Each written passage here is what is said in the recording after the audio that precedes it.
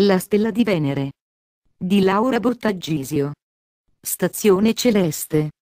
Siamo fatti della stessa sostanza di pianeti e stelle. La stessa forza ci anima. Nei primi giorni di giugno il Sole si incontrerà con i due pianeti a lui più vicino, Mercurio il messaggero e Venere l'amore. Subito dopo aver abbracciato Mercurio, egli si congiungerà a Venere che, in moto retrogrado, lo attende. In quel preciso istante con un'eclisse di Venere, si completerà stella a cinque punte, iniziata otto anni fa con una stessa eclisse. Mente e cuore così si uniranno in noi sempre compenetrati, daranno voce alla voce dei cieli, che il noi attraverso noi risuonerà. Il 6 giugno avviene un evento astronomico importante, che nel suo significato simbolico perfettamente si inserisce sia nel lungo computo del tempo Maya, sia nella lettura astrologica dei cicli planetari, sia nel nostro sentire interiore. È il completamento della stella di Venere, il pentacolo immagine dell'uomo perfetto. Da sempre, da quando il nostro sistema solare è così concepito, una meravigliosa danza intercorre tra la Terra, il Sole e Venere, pianeta del bel canto il cui suono apporta accordi d'armonia ed equilibrio a questo movimento. È un ciclo perfetto, che si ripete da centinaia e centinaia di anni già i Maya lo conoscevano perfettamente e lo prendevano in considerazione nel calcolo dei loro calendari. La Terra, il nostro pianeta blu, se ne delizia in quanto partecipandovi da protagonista, intesse una relazione d'amore con gli altri due co-creatori, che grazie a questa danza, da immemorabile tempo, nell'arco di otto anni disegnano in cielo un pentacolo, una perfetta stella a cinque punte. È la stella di Venere, incontrastato simbolo del femminile. Grande simbolo davvero questa stella di Venere. In esso è racchiuso il segreto della vita, il grande principio della geometria sacra, che si basa sul numero aureo.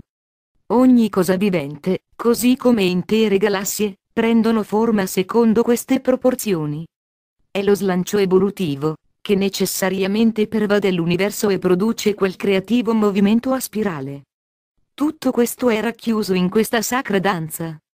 Dan Brown nel suo libro Il codice da Vinci, divenuto best seller in tutto il mondo in pochissimi mesi, all'inizio del romanzo descrive il pentacolo come il femminino sacro la dea divina, collegandolo a Venere in quanto dea della bellezza e dell'amore, e rivedendo in esso un simbolo pre-cristiano legato al culto della natura.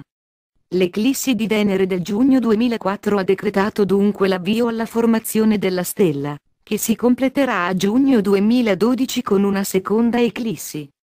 In questi otto anni il nostro processo evolutivo ha avuto un'accelerazione e abbiamo avuto la possibilità di essere in prima linea per operare quelle scelte fondamentali, che ci stanno portando verso una nuova e totalmente edificante visione, atta a costruire un mondo basato su nuove regole e nuovi paradigmi. Poiché noi vibriamo in risonanza con le energie celesti, questa stessa stella si è formata anche dentro di noi, dalla nostra profondità potrà poi diventare operativa e aiutarci a liberare il nostro nucleo di luce. A mano a mano, che la stella si è formata nel cielo rispecchiandosi in noi, il femminile ha preso sempre più piede sia nella nostra vita individuale sia nella socialità, e soprattutto nella Terra stessa, che di questa energia inonderà l'universo attorno a lei, i segni zodiacali in cui si sono formate le cinque congiunzioni Sole barra Venere che hanno creato le punte della stella sono gemelli, punto di partenza e di arrivo, Capricorno, Leone, Ariete e Scorpione.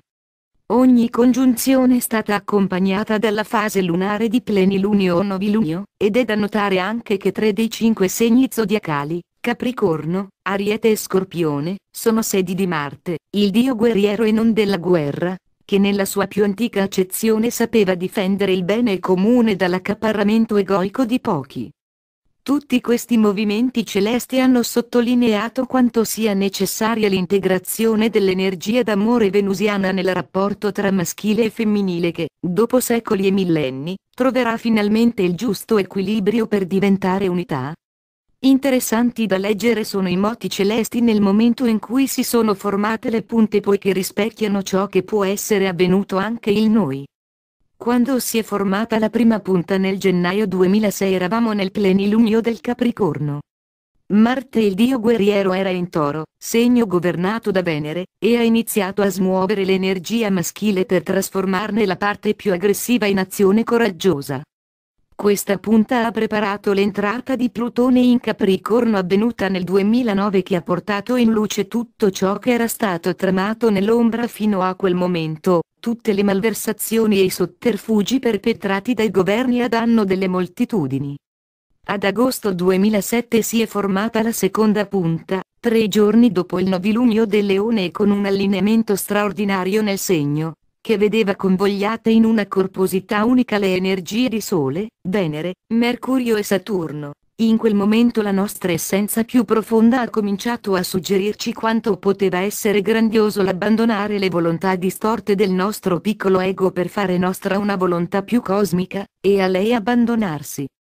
A marzo del 2009 la quarta punta si è formata in Ariete. In quel momento Venere, insolitamente stazionante in quel segno astrologico per ben quattro mesi, ha aspettato l'abbraccio del Sole al quale si è congiunta, creando la punta appena dopo l'equinozio di primavera, prima della Pasqua ed era il nobilunio dell'Ariete. Ariete è legato all'elemento fuoco, è il segno di ogni inizio, della rinascita corporale e spirituale dopo la purificazione del mese precedente, ha donato il desiderio di presentarsi rinati a se stessi, con una nuova veste, un nuovo passo e un nuovo suono per poter eseguire un'interpretazione inedita della nostra melodia. Questa punta della stella ha preparato l'entrata di Urano in Ariete, che sta portando tutti quei cambiamenti sociali e personali detronizzando i falsi idoli dal loro piedistallo. In un tempo in cui tutte le certezze stanno cadendo sgretolandosi pezzo per pezzo, questo fuoco sembra essere ora un fuoco iniziatico, che ci aiuta ad adeguarci a ciò che le forze celesti stanno preparando per noi e ci apre una nuova porta d'accesso verso ciò che viene definita multidimensionalità, verso, cioè, la conoscenza, che esistono mondi sottili incorporati in noi a cui possiamo accedere attraverso la consapevolezza della loro esistenza per poter vivere nella piena coscienza. A ottobre 2010, tre giorni prima del plenilunio dello Scorpione, si è formata la quarta punta. Dei tre segni d'acqua lo Scorpione è quello della purificazione e trasmutazione della materia. Questa quarta punta ha portato la nostra attenzione sul corpo fisico in quanto veicolo per riconoscere e accedere al nostro corpo di luce, che dimora all'interno di ogni nostra singola cellula, la formazione di questa punta è stata accompagnata da una particolare configurazione astrale tra Saturno e Urano, che avviene ogni 45 anni. Opposti tra Vergine e Pesci, la loro azione congiunta ha portato a un cambio di stato ad un livello molto profondo, atomico, essi rappresentano il salto per cui un elettrone si sposta da uno stato orbitale dell'essere ad un altro, e ogni cambiamento di stato di un elettrone cambia la natura essenziale della sostanza. Dall'economia alla politica, dalle arti alla scienza, tutto è investito da quest'ondata di rinnovamento profondo. Se anche in noi abbiamo lasciato avvenire tutto ciò, potrebbero essere radicalmente cambiate le nostre priorità. Saturno, pianeta selettivo, può averci fatto operare scelte atte a rompere schemi ormai troppo rigidi, che la forza disgregante di Urano ne ha imposto la distruzione, quegli schemi, che non lasciavano trasparire i desideri del cuore. Tutto si riaggiusterà, ma solo se avviene il passaggio su un livello diverso. La quinta e ultima punta si formerà il 6 giugno 2012 appena dopo il plenilunio dei gemelli. La stella sarà finalmente completa. Tutto il cammino evolutivo compiuto in questi ultimi otto anni grazie alla sua formazione vedrà un punto di svolta epocale in tutti i settori della vita dell'uomo. Urano e Plutone, sempre più compenetrati con l'energia dei segni in cui stanno transitando, non potranno che continuare a produrre sbalzi repentini di stato prima di un vero assestamento basato su un ampliamento di visione e sulla nuova coscienza.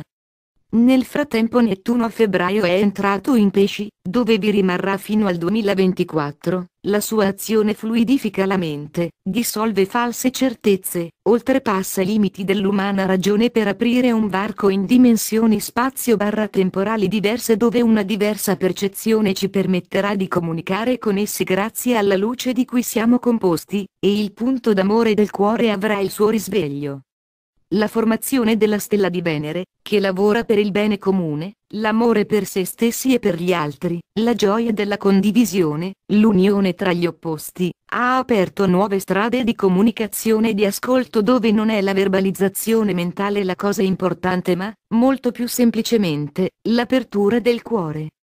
L'apertura del cuore quella è la porta d'accesso della nuova coscienza di cui Venere, con la sua stella, ne possiede la chiave.